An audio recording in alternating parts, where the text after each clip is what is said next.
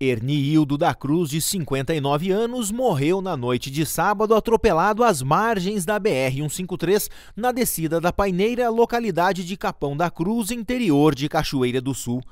Conforme informações da polícia, ele teria sido colhido por um GM Corsa. O condutor do veículo, Natan Miguel Pavanato, de 20 anos, informou que Cruz caminhava às margens da rodovia e teria invadido a pista no momento em que foi atingido pelo veículo. O homem, que era natural de Sobradinho, teve morte instantânea e foi sepultado na tarde de ontem no cemitério católico de Três Vendas. Erni deixou a irmã Maria Helena e o cunhado João Vargas.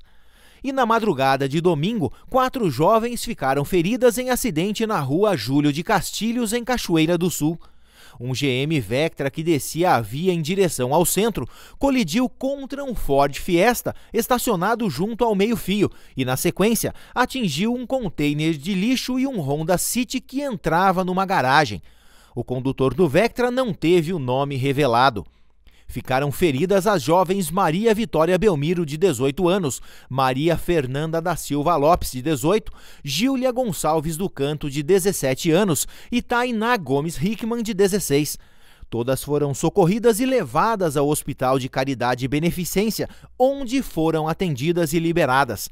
A Polícia Civil investiga as causas do acidente.